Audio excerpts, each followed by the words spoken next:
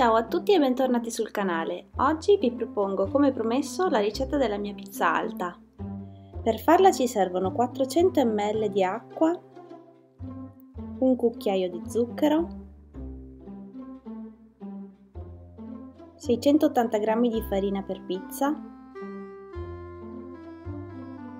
un cucchiaio di olio di oliva,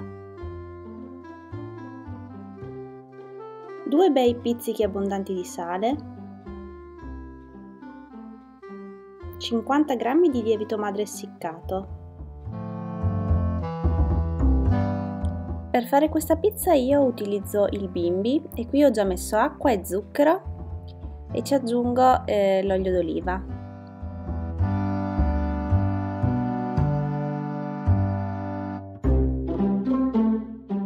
Lo faccio intiepidire per un minuto a 40 gradi.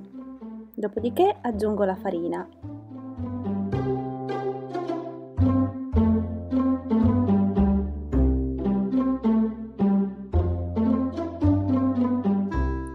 lievito madre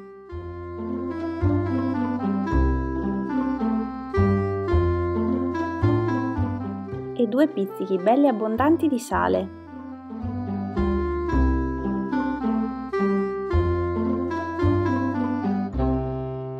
Qui uso queste indicazioni per impastare col bimbi, ma tenete presente che potete benissimo impastare anche normalmente.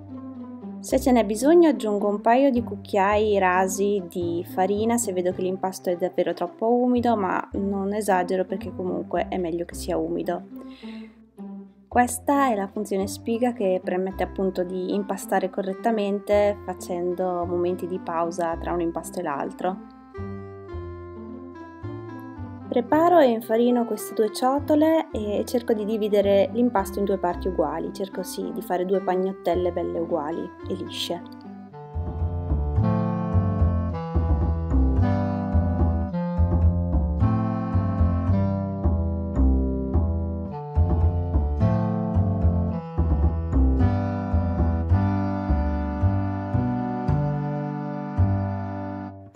Copro con la pellicola trasparente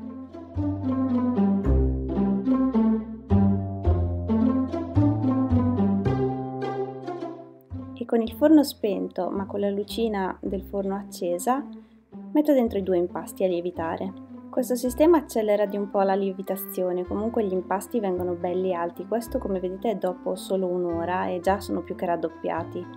Nell'attesa ho preparato patate, salsiccia, cipolla e tonno, polpa di pomodoro e l'immancabile mozzarella.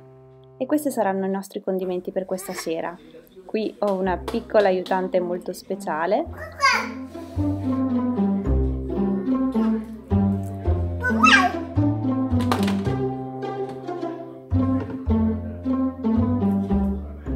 È arrivato il momento di stendere gli impasti, la parte che trovo più difficile in assoluto.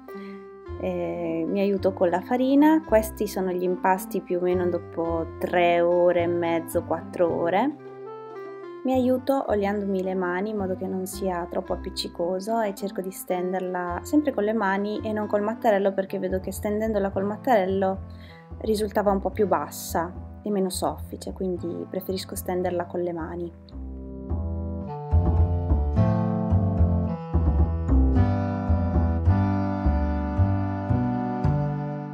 Metto un leggero strato di pomodoro, cerco di non abbondare troppo perché ho visto che fa più fatica a cuocersi se abbondo col pomodoro e poi continuo con i condimenti in base ai nostri gusti.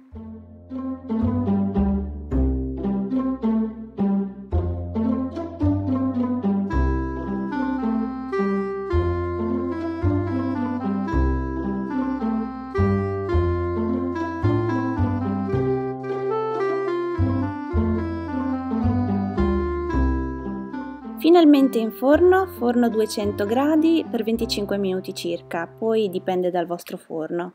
Io a metà cottura giro e inverto le teglie in modo che abbiano una cottura un po' più uniforme.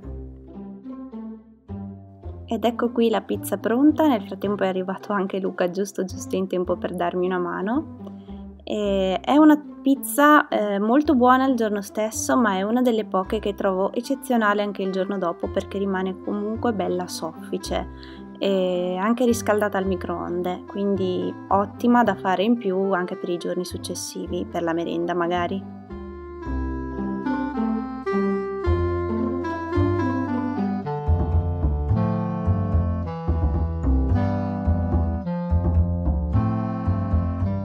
Taglio ogni padellone in pezzi piuttosto piccoli perché comunque essendo l'impasto così alto è, è abbastanza riempie abbastanza.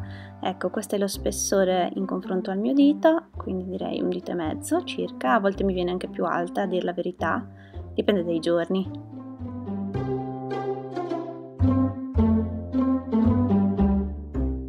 Questo quindi è il risultato finale, buon appetito a noi e anche a voi se la riproponete. Un bacio e al prossimo video. Ciao!